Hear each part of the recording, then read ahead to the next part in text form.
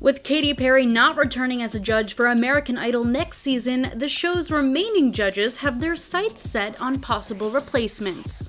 Katy Perry became one of three American Idol judges back in 2018 for the show's 16th season. After five years on the show, Perry decided it was time to leave and do something new, as she announced while on Jimmy Kimmel Live. So now, with a huge gap left in the group of judges, the show and Perry's coworkers are considering who could take her place. In a recent interview with ET, Luke Bryan spoke about the possibility of Meghan Trainor joining the team, sharing, I think Meghan's always been real fun. You know, that's kind of been her brand, to have fun. She's real witty, so certainly. Lionel Richie, on the other hand, is apparently considering Kelly Clarkson, as he told ET, I've got my list, but Kelly, if you don't have anything else to do, I'd like to drop that out there. I'm a big fan. Richie then joked that if Taylor Swift is also interested, they'd love to have her, quipping, Oh, and by the way, Taylor, if you're available, we'd like to have you out. Call me.